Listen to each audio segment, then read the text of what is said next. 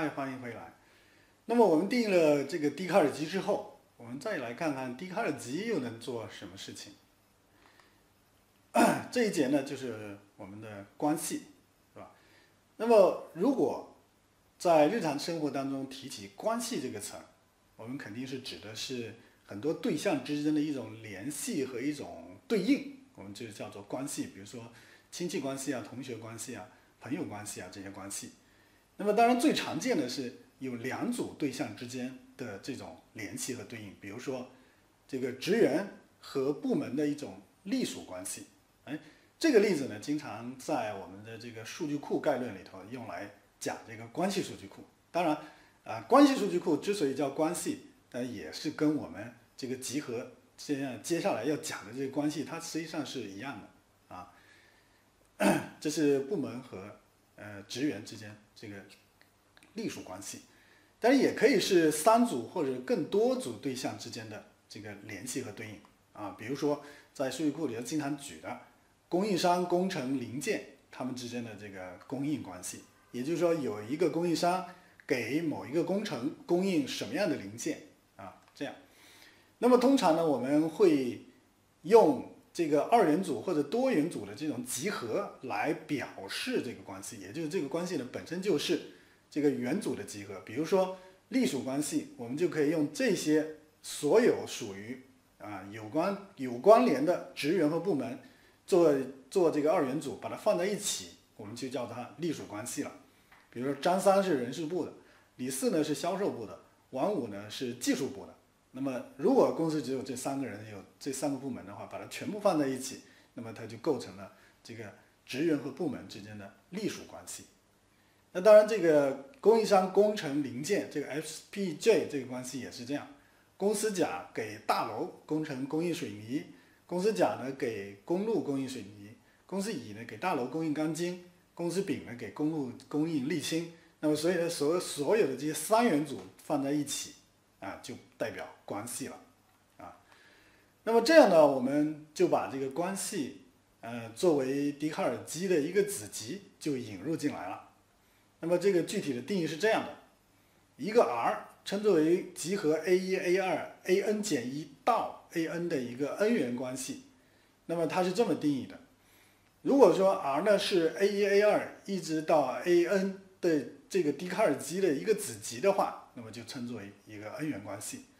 如果说这 a a 二 a n 所有的这个 a 都是相等，都是同一个集合的话，那么它也会被称为 a 上的 n 元关系，就 a 上啊。当然，最简单的是二元关系。那么如果说 R 是 a 差乘以 b 的一个子集，那么就是 R 就是 a 到 b 的一个二元关系。那么如果 R 是 a 差乘 a 的一个子集的话，那么就称作为 R 呢是一个 A 上的 A 二元关系。那么我们主要呢后面用来研究的都是二元关系。那么关系呢可以用类似于集合规定的方法啊，那三种方法来进行规定。所以呢，我们来看看几个关系的例子。首先，比如说叫做自然数的相等关系。我们说两个自然数相等，那么它是应该是怎么表示呢？那么表示为 e_n，然后呢，把所有相等的自然数构成的二元组全部收集在一起，比如零和零相等，一和一相等，二和二相等，啊，所有的全部收集在一起，然后做做一个集合，这时候呢，它就是叫做相等关系。那么这个当然是一种列举法，是吧？当然我们也可以用描述法来规定这个关系，比如说整除关系，那么它就是所有的 x 整除 y 的。啊，满足 x 能够整除 y，这所有的 x、y 的二元组全部收集到一起，那么它就是一个整数上的一个整除关系了。那当然也可以用归纳法来定义关系，比如说小于关系 L，它可以这样：基础条款呢就是零一啊是属于这个小于关系的，当然零小于一，对吧？那归纳条款也是说，如果 x、y 是属于这个小于关系的话，那么 x、y 加一。也属于这个小于关系，x 加一，y 加一也是属于这个呃 L 这个小于关系。那么之所以是加一呢，它它是用了自然数后继这么一个操作，对吧？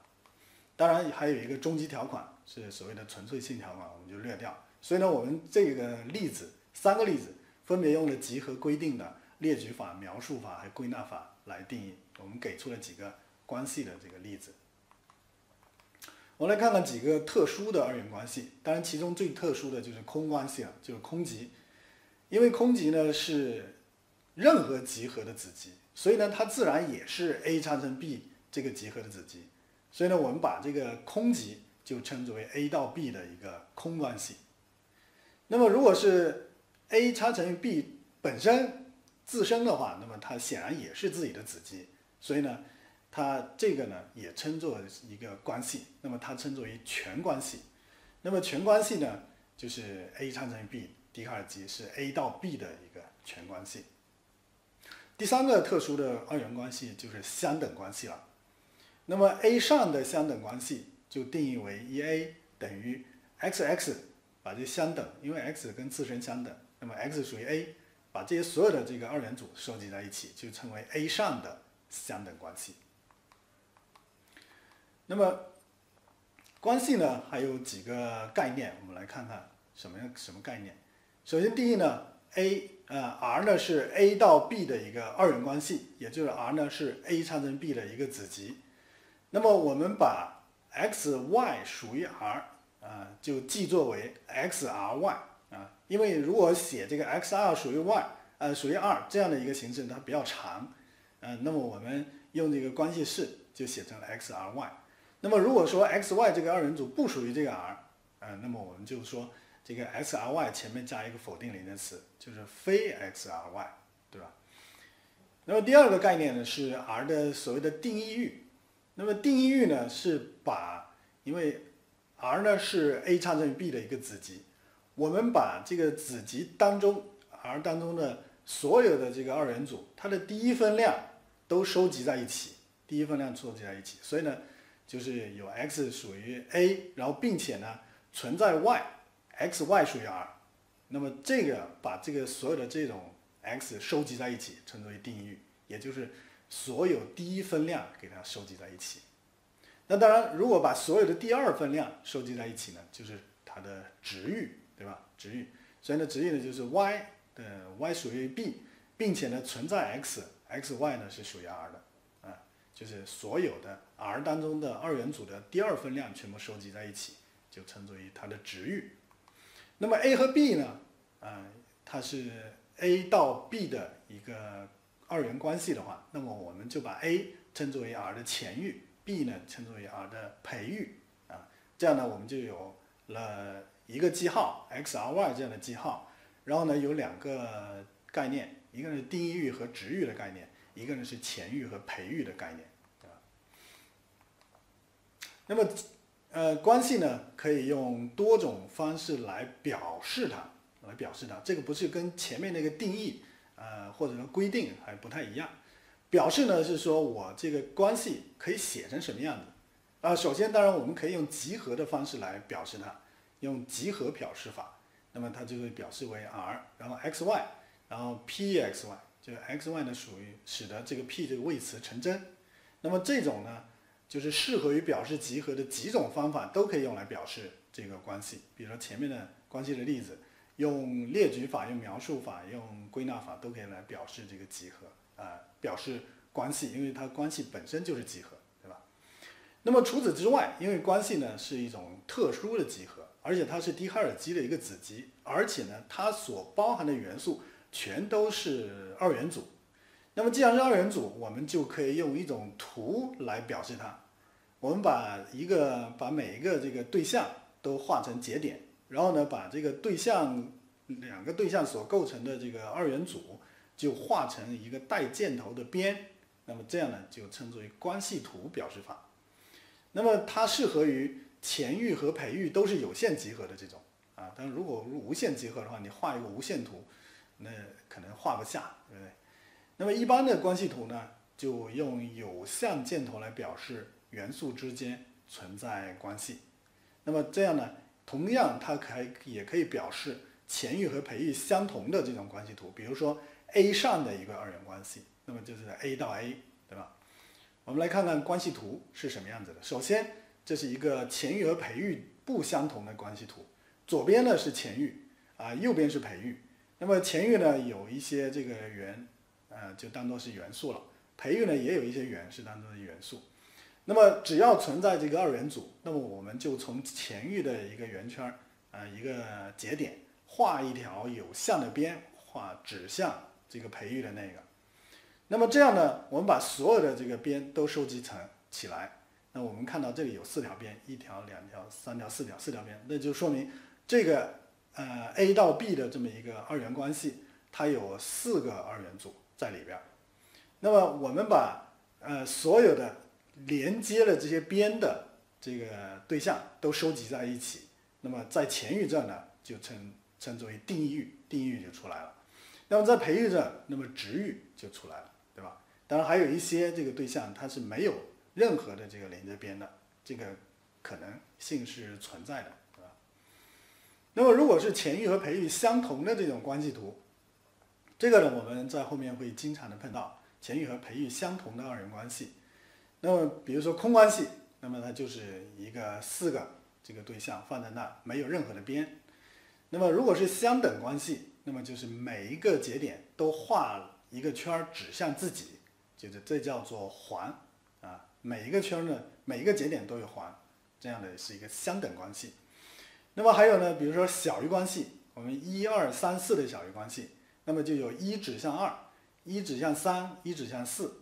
那么二呢，就有二指向三，二指向四，三呢有三指向四，啊，四就没有了，这就是小于关系，可以画成这样的一个关系图。那当然，如果是全关系的话，就是 A 叉乘 A，那么就是每一个节点除了有到自己的这个环之外，它还有到其他所有的节点都有边，那么画起来呢，看起来就是这个样子的。